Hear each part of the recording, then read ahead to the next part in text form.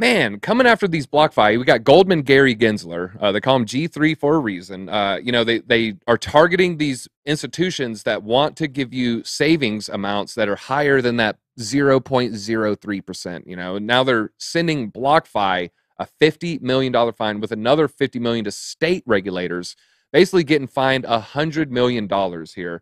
Uh, BlockFi is expected to pay 100 million in fines to the SEC and other state regulatory uh, regulators over allegations it illegally, illegally offered a high interest yield product.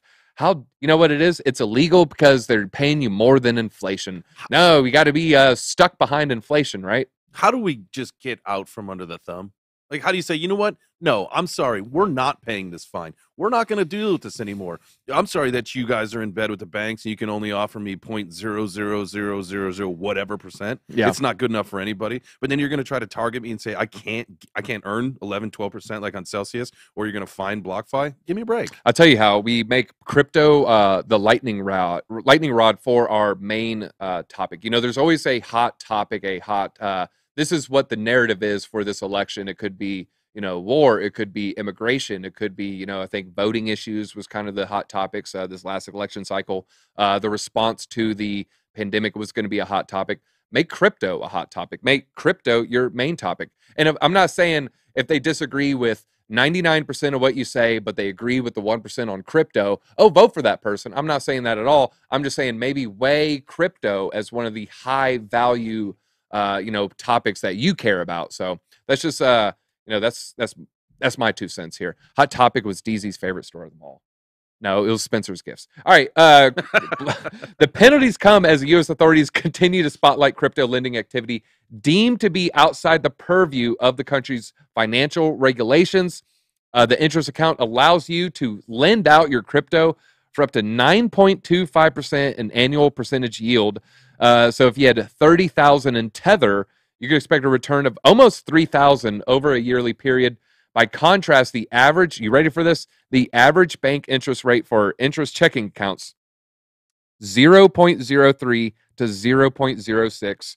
So your three $30,000 would only get you 9 bucks to 18 bucks for the same amount. So, So this is much is- totally ridiculous. How much is the bank taking on that though?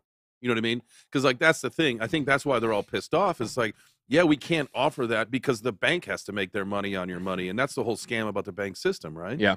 Yeah, and uh, I don't want to get into like yeah, fractional and all that, but yeah, like yeah, they they hold your money, they do things with your money. They're making money off your money, but they don't want you to make money off your money. They they want to have a monopoly on the the hey, I, I lend out money because with crypto we can kind of team together, right? Like I can't give someone even thirty thousand dollars. No billion dollar corporation is going to be interested in me trying to let them borrow thirty thousand, and then they're going to give me thirty one thousand dollars back. You know, four months from now. But when you team with a whole group of people on something like BlockFi, then you know I gave my 30, you gave your 10, gives a 20, J Chains gives 40. Everyone, you know, pulls together their amount, and then that billion dollar corporation is like, oh yeah, let me borrow 27 million, and then you know disperse the rewards equally. So you know the Web three, uh, these protocols, crypto allows us to band together. And you know the powers that be, that's not what they want. You know that's the exact opposite of what they want. They want us uh, divided, separated, and uh, weak. They want us weak and lame, and we're not going to have it.